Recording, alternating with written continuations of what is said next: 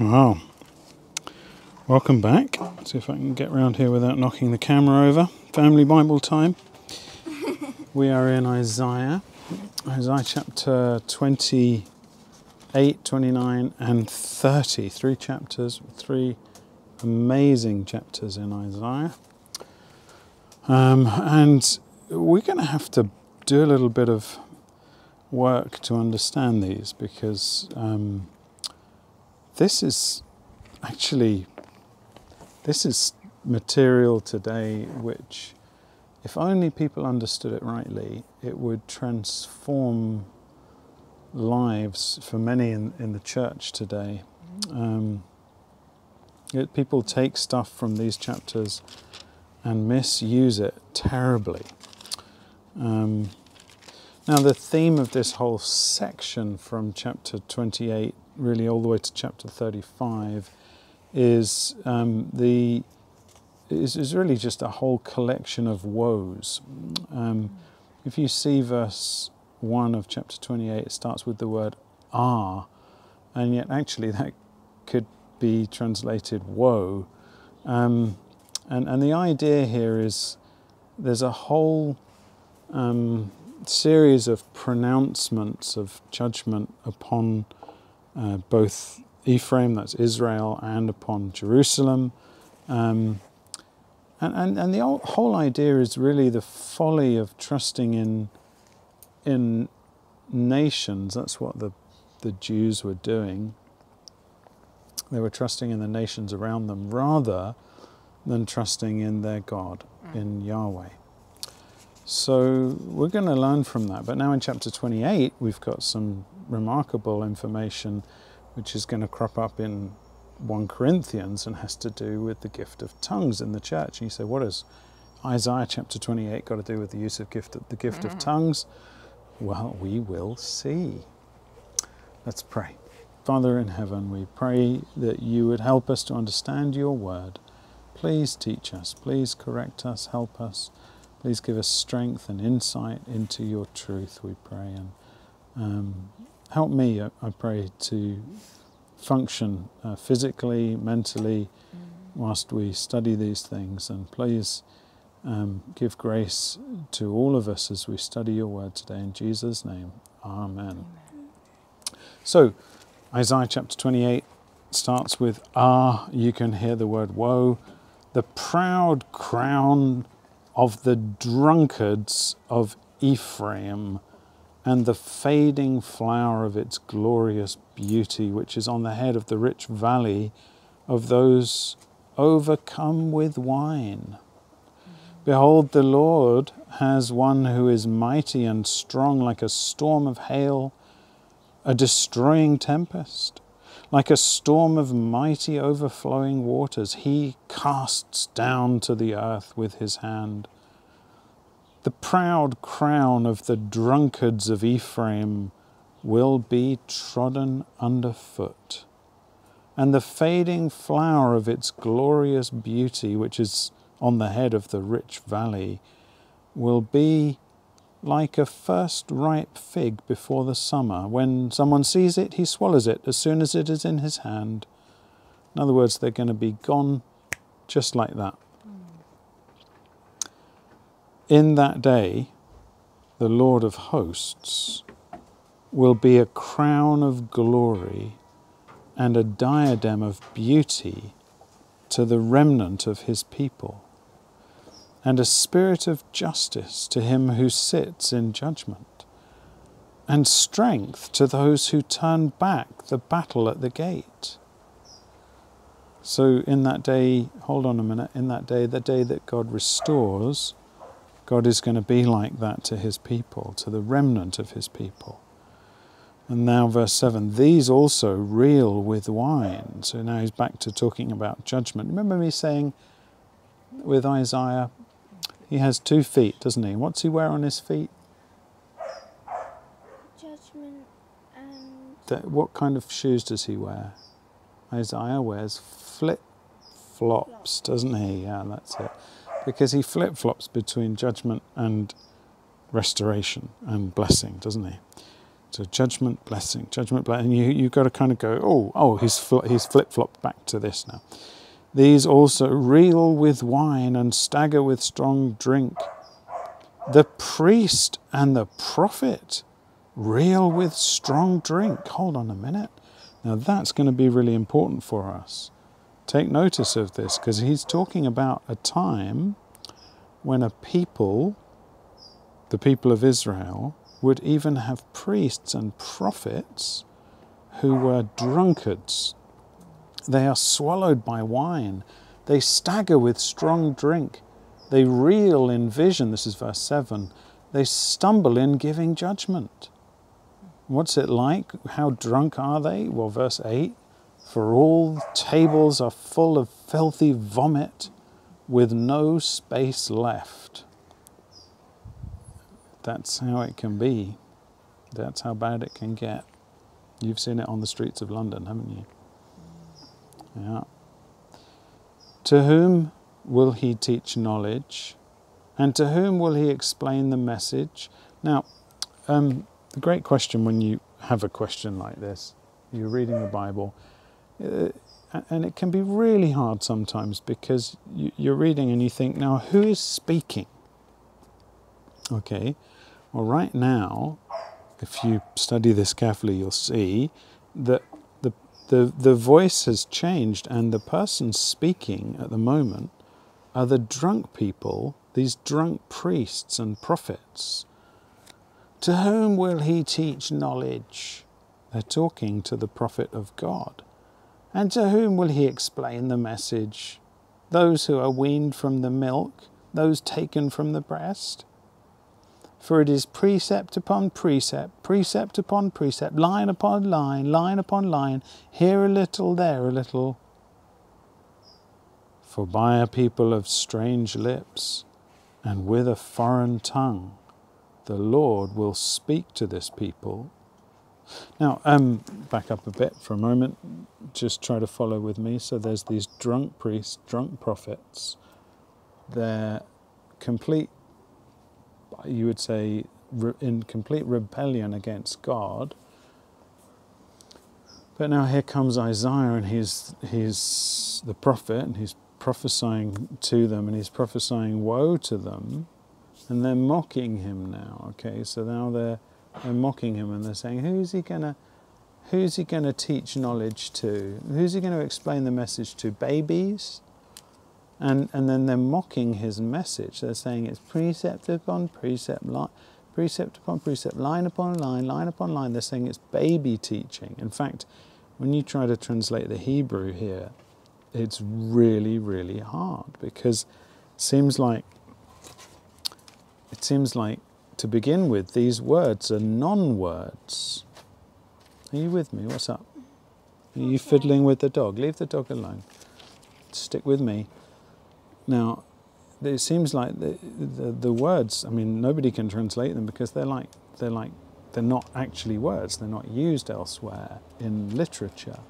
You say, well, what, what kind of words are they? It's, and, but they rhyme like children's words like na na na na na or yeah yeah yeah. It's something like that. So these Eli lie down. These drunk prophets, is she lying down? Lie down, good girl. These drunk prophets and drunk priests are mocking Isaiah and they're saying to Isaiah, who's he going to teach knowledge to? Who's, who's he going to explain everything to? it's when he teaches, it's like precept, na na na na na, and here a little, there a little, and now God is going to reply to that now through Isaiah.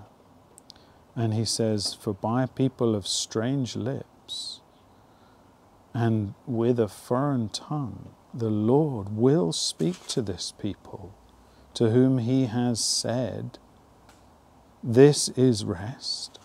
Give rest to the weary, and this is repose that they should that they would hear, yet yet they would not hear. I mean, he's told them what repentance is. They're supposed to give rest to the weary. They're supposed to repent and look after the defenseless, aren't they? Defend the cause of the widow and the fatherless. He's told them what repentance is like, yet they would not hear.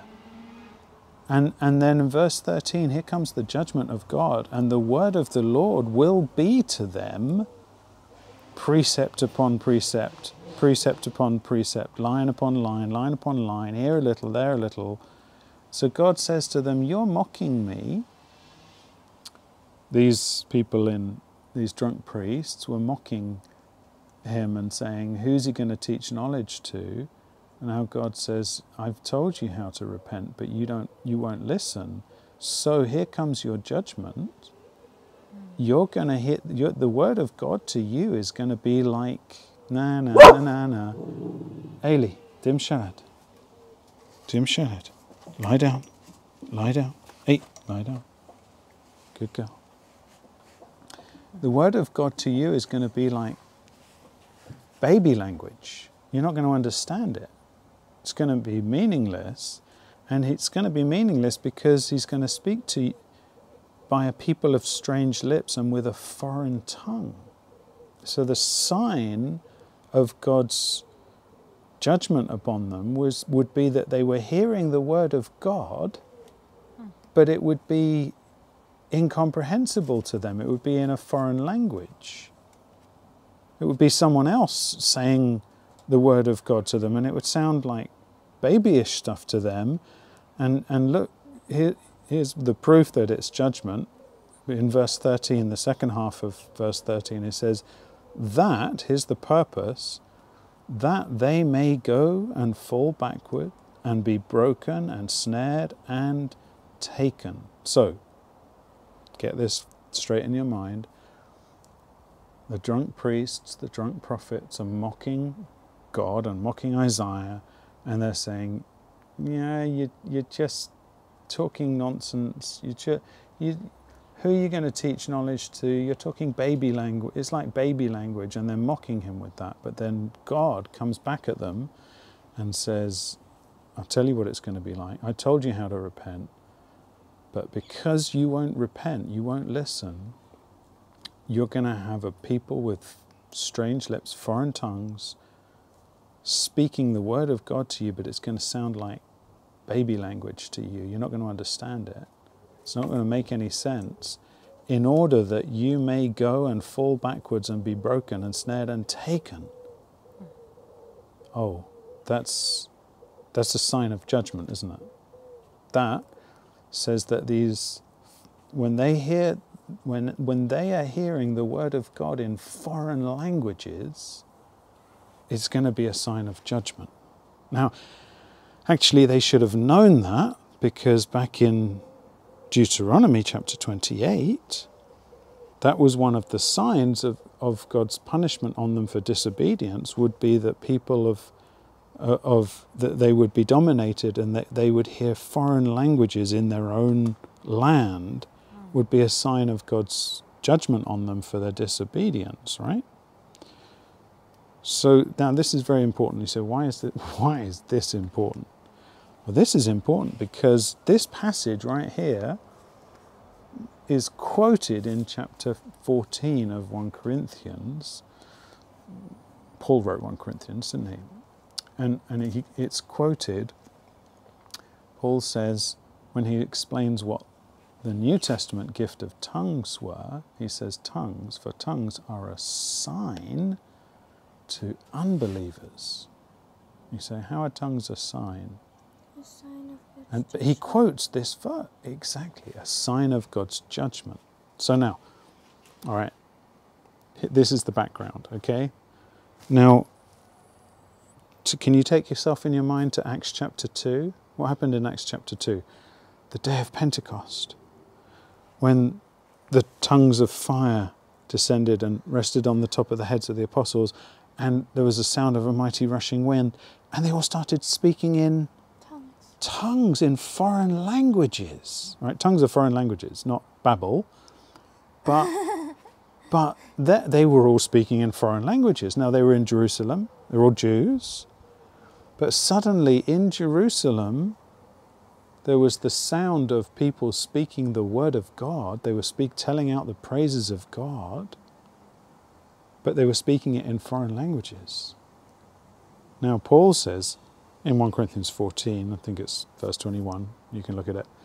He says tongues are a sign, and he explains it's that tongues are a sign for unbelievers. How are tongues a sign for unbelievers? You said it, you got it from the context here. Tongues are a sign of judgment. So, how are tongues a sign of judgment? Okay, you're at Pentecost, you're a Jew, and you suddenly hear God, you, you hear the praises of God being spoken in a foreign language that you don't understand. Someone over says, someone over there says, Well, that's Arabic. I understand it. And you think, hold on a minute, I'm a Jew, but I'm hearing the word of God in a foreign language. This is a bad sign. This means God is judging us. Okay, that, that's how tongues are a sign. That's what the message to the Jews were was really simple. God is speaking, God is speaking, but He's not speaking to us. Mm. That's really scary. Okay. Well, we need to speed up, don't we? But that was a. This is such a crucial passage. You've got to understand this, and um, people misunderstand it. People fail to understand this, and then they actually totally misinterpret what tongues are in the New Testament. But there we are. By the way, chapter 28, verse 14. Therefore, hear the word of the Lord, you scoffers, who rule this people in Jerusalem. Because you have said, We have made a covenant with death, and with Sheol we have an agreement. When, an over, when the overwhelming whip passes through, it will not come to us, for we have made lies our refuge, and in falsehood we've taken shelter. Therefore, thus says the Lord God Behold, I am the one who has laid a foundation in Zion, a stone, a tested stone a precious cornerstone for a sure, of a sure foundation. Whoever believes will not be in haste, and I will make justice the line and righteousness the plumb line, and hail will sweep away the refuge of lies, and waters will overwhelm the shelter. Then your covenant with death will be annulled, and your agreement with Sheol will not stand. When the overwhelming scourge passes through, you will be beaten down by it. These, these people thought they'd managed to kind of come to some arrangement whereby they were going to escape. Mm. God says, You're not going to escape. As often as it passes through, it will take you. For morning by morning it will pass through, and day and day by day and by night, and it will be sheer terror to understand the message. For the, this is what it's going to be like, by the way. For the bed is too short to stretch oneself on, and the covering too narrow to wrap oneself in. What a horrible picture. For the Lord will rise up as on Mount Perazim, as in the valley of Gibeon, he will be aroused. To do his deed, strange is his deed, and work his work, alien is his work. Now therefore do not scoff, lest your bonds be made strong. For I have heard a decree of destruction from the Lord God of hosts against the whole land. Give ear and hear my voice. Give attention and hear my speech. Does he who ploughs for sowing plough continually? Does he continually open and harrow his ground?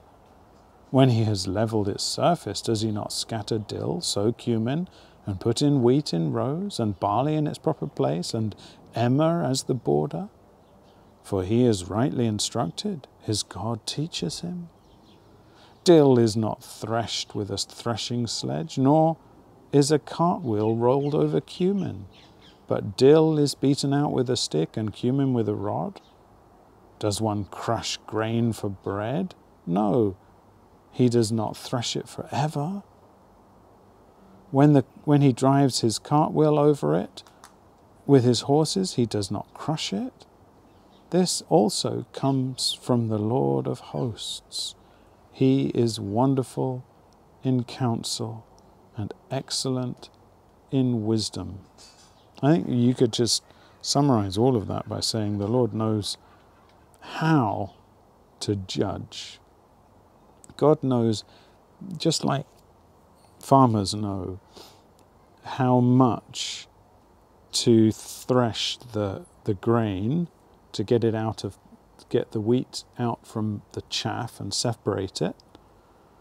They, they know how to, to do that and they don't do, they don't keep doing that forever and ever until it's crushed. They they do it so far and when they see that all the grain has come out, they stop, don't they?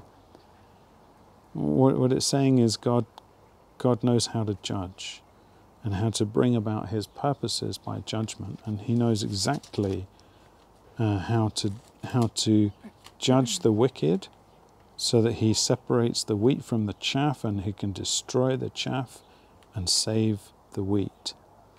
He knows how to judge the wicked and save the righteous. Isn't that good? Here we go again, verse chapter 29. Ah, Ariel, Ariel. So you could say, Woe, Ariel, Ariel, the city where David encamped.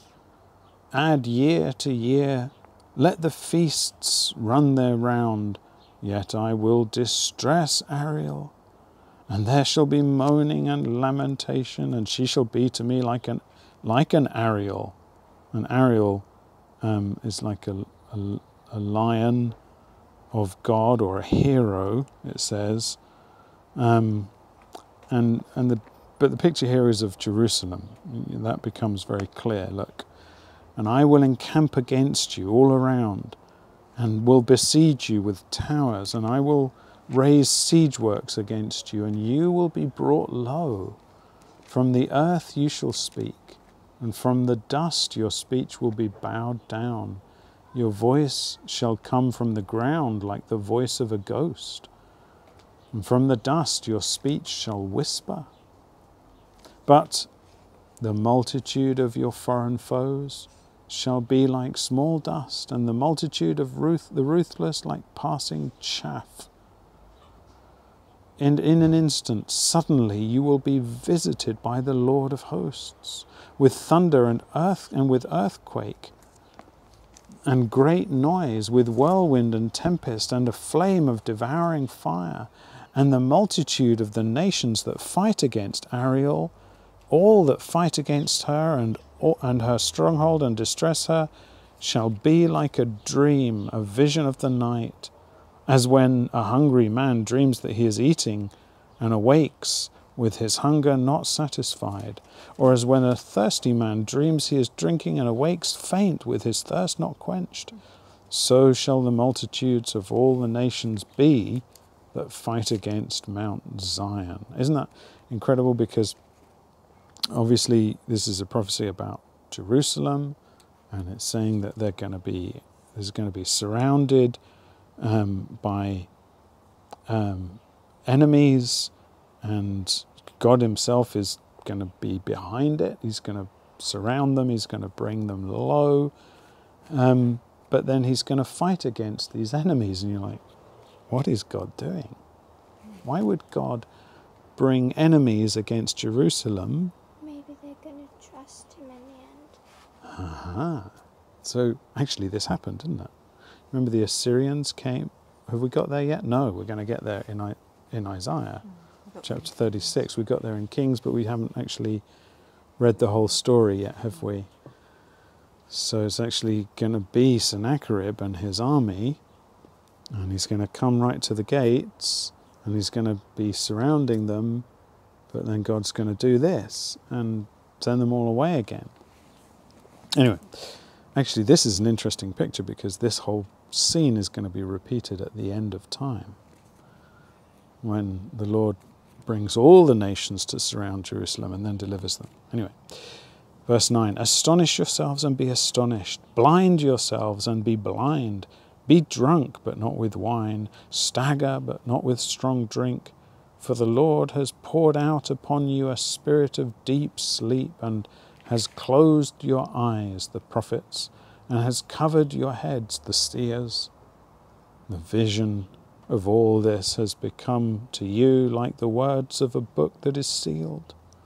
When men give it to one who can read, saying, Read this, he says, I cannot, for it is sealed.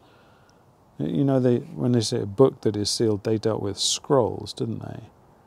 And and when they sealed a scroll, you, if you rolled up a scroll and you had a nice scroll, and then you put a wax seal on the end, you've you've sealed it shut. You can only read it if it you break the seal, right? Um, and, and that's what what he's saying here. He's talking about the, the, the vision of all this has become to you like the words of a book that is sealed. You, God is giving them the vision of it all, but they just can't they can't get it, can they? Mm. And when they read it, they say, "I can't," read it because it's sealed. And and when they give the book to one who cannot read, saying, "Read this," he says, "I cannot read." Verse thirteen, and the Lord said, "Because this people draw near." with their mouth and honor me with their lips, while their heart hearts are far from me, and their fear of me is a commandment taught by men. Therefore, behold, I will again do wonderful things with this people, with wonder upon wonder. And the wisdom of their wise men shall perish, and the discernment of their discerning men shall be hidden. Ah, you who hide deep from the Lord your counsel, whose deeds are in the dark, and who say, Who sees us? Who knows us? You turn things upside down. Shall the potter be regarded as the clay? That the thing made should say of its maker, He did not make me or the thing formed say of him who formed it, He has no understanding. Is it not yet a very little while until Lebanon shall be turned into a fruitful field, and the fruitful field shall be regarded as a forest?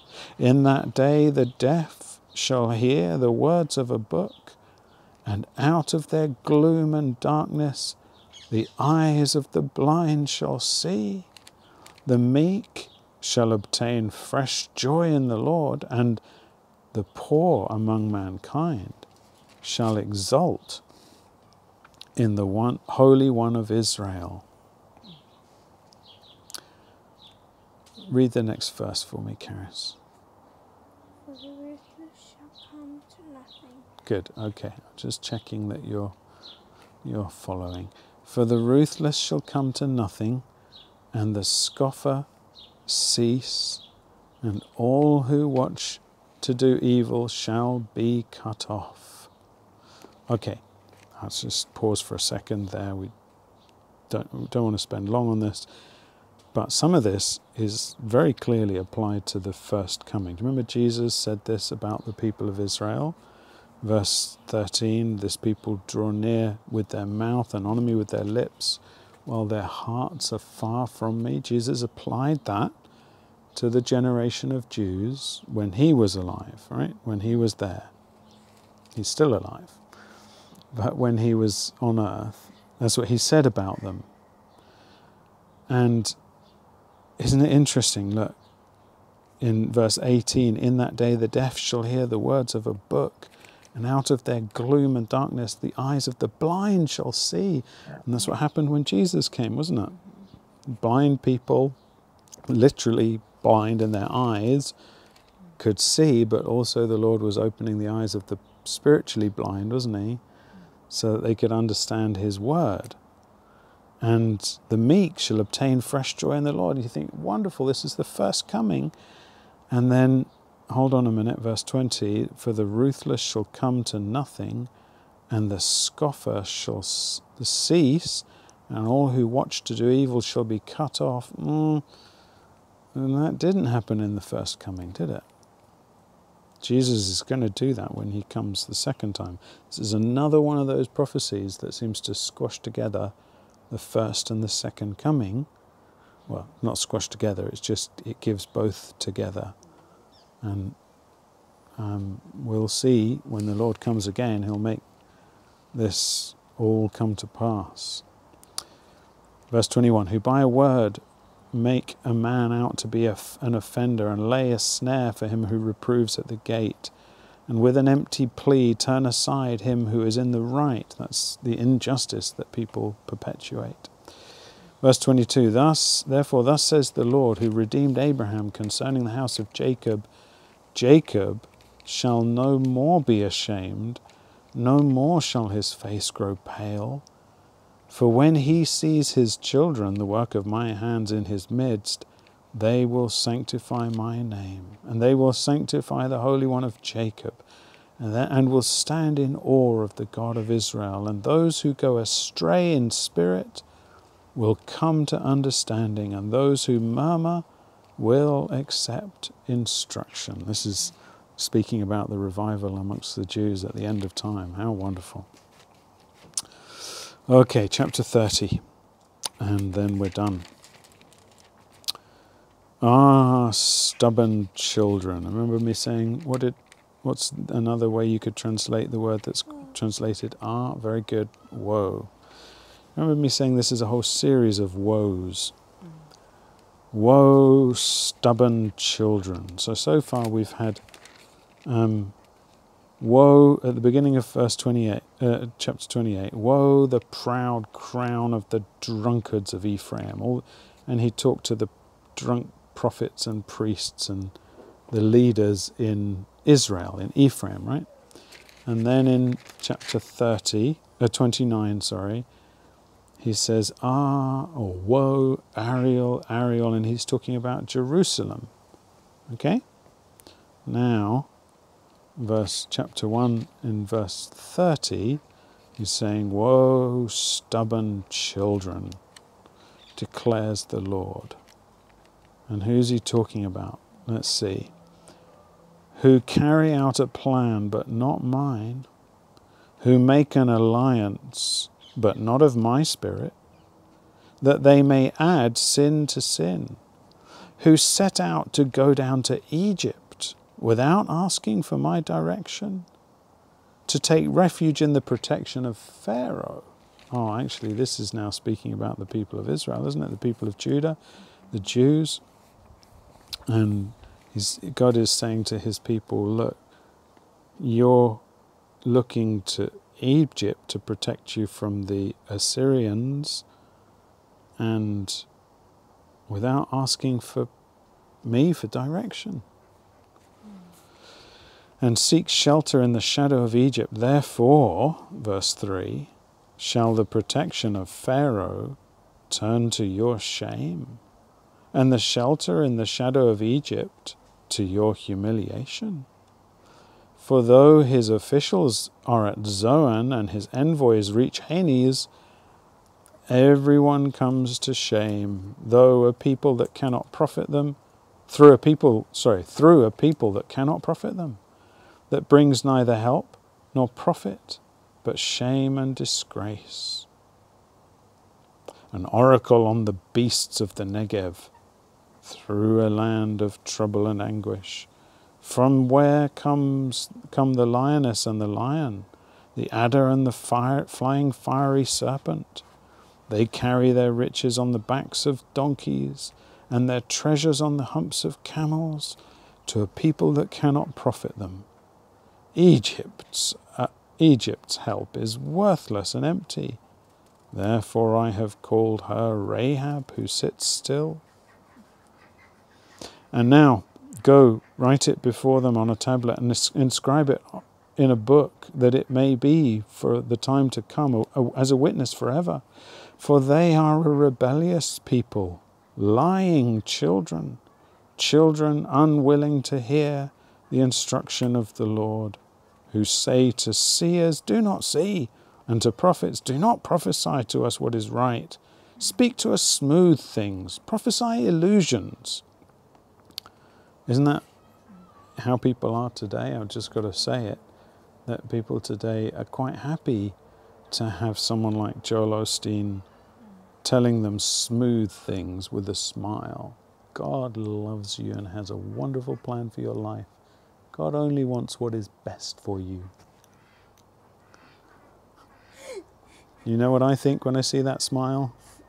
The mouth of Sauron.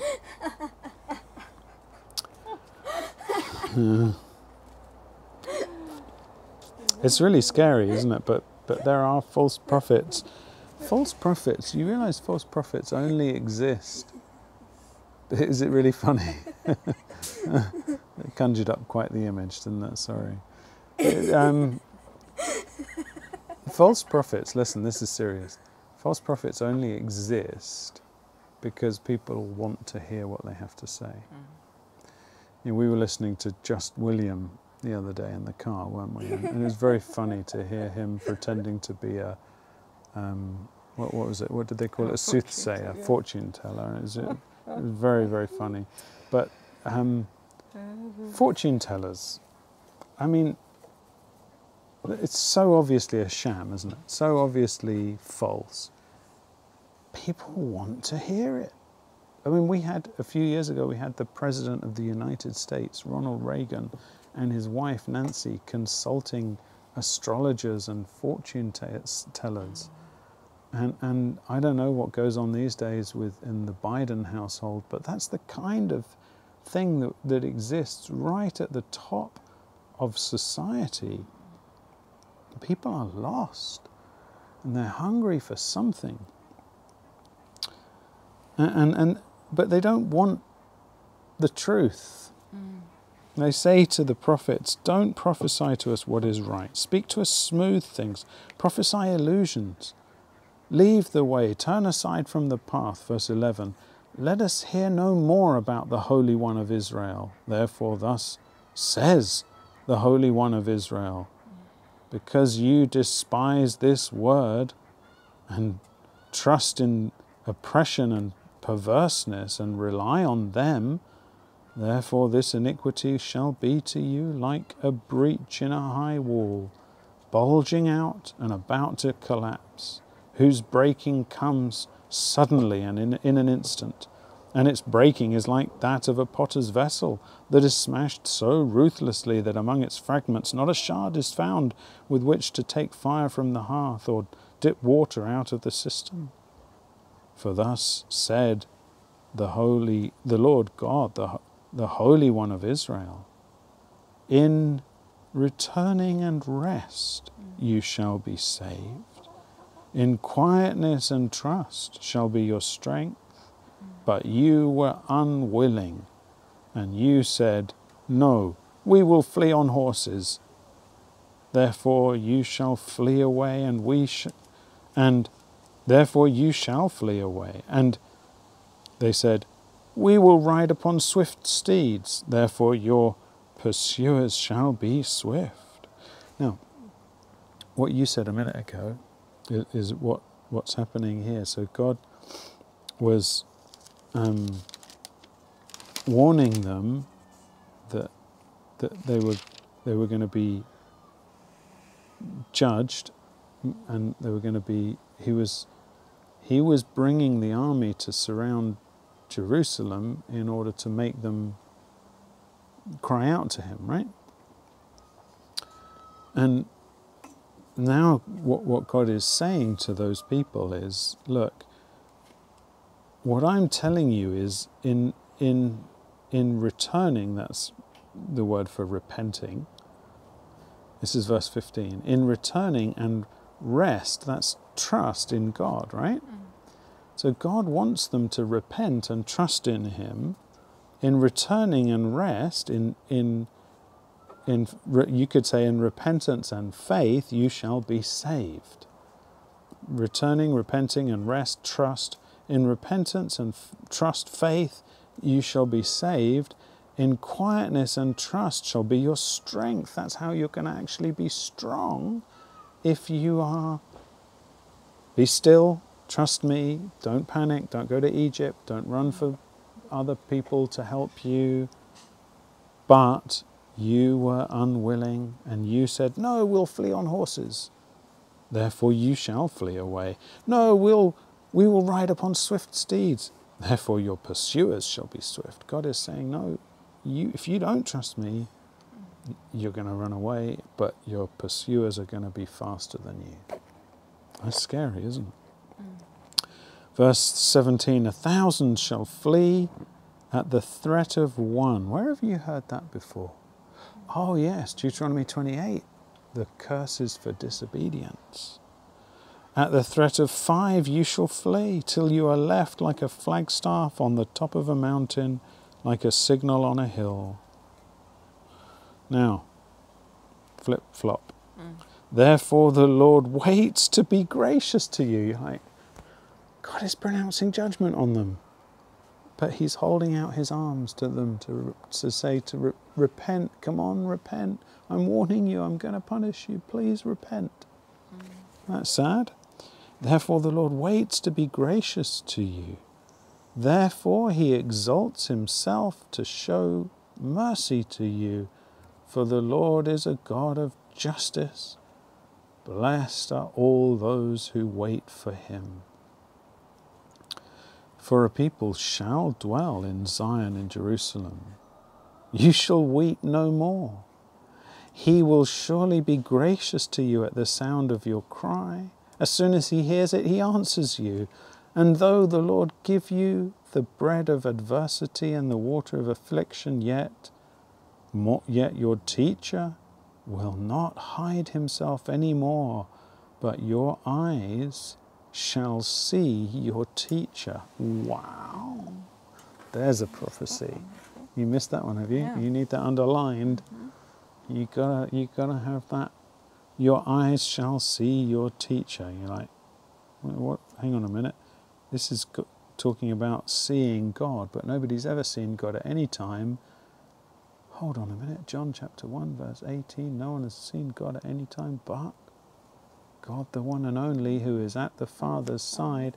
He has made him known.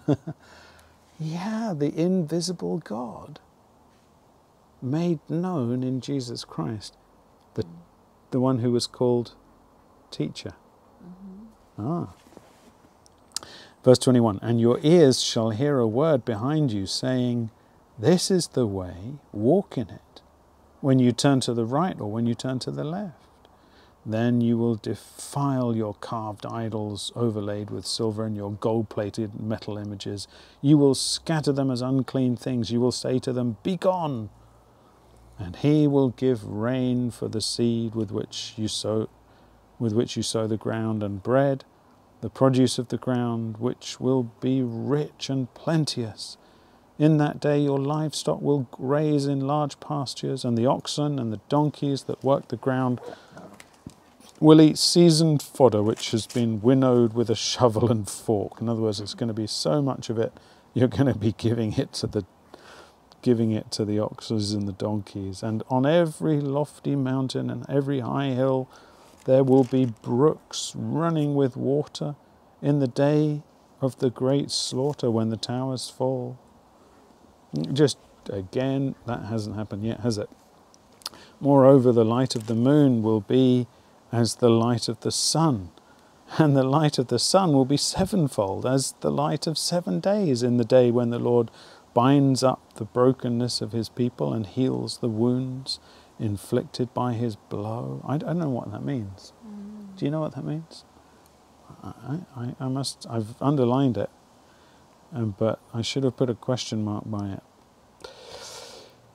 Verse 27 Behold, the name of the Lord comes from afar, burning with his anger and in thick rising smoke. His lips are full of fury, and his tongue is like a devouring fire.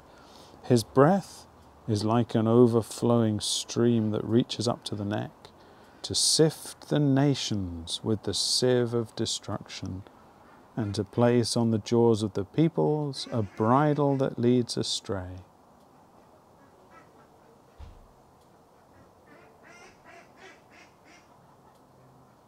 I think they're having a quacking time down there. There goes the dog to look, protect them from the fox that's hopefully not there. It's only eight o'clock. Where are we? Verse 29 You shall have a song as in the night, with a holy feast, when a holy feast is kept, and gladness of heart as when one sets out the sound of the flute to go to the mountain of the Lord, to the rock of Israel.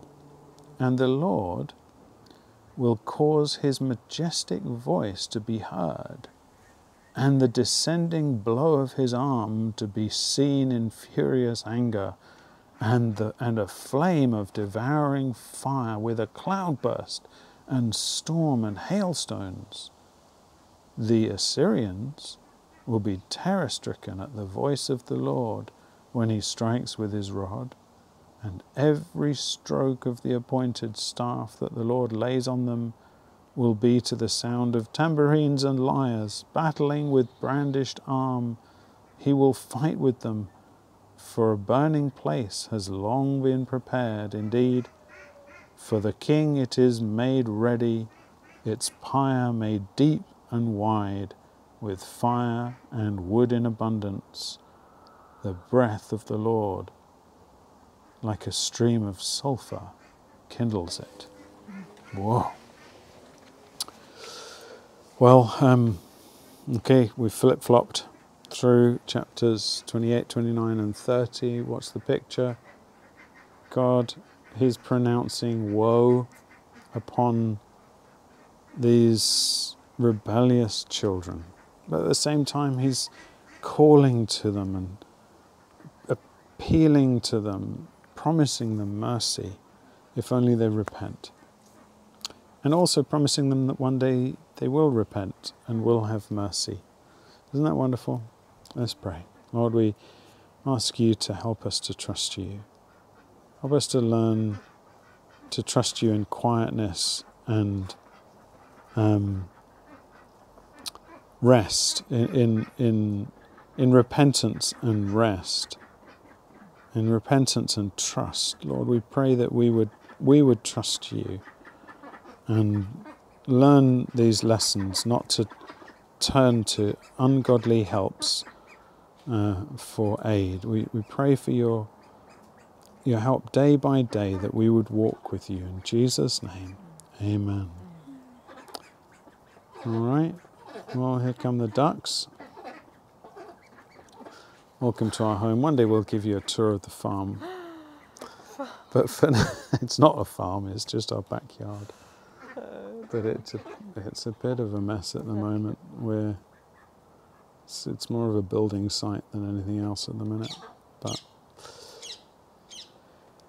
we'll say goodbye for now. We'll say God bless you, and we'll say, God willing, we'll see you tomorrow. Bye for now. Thank you, camera lady.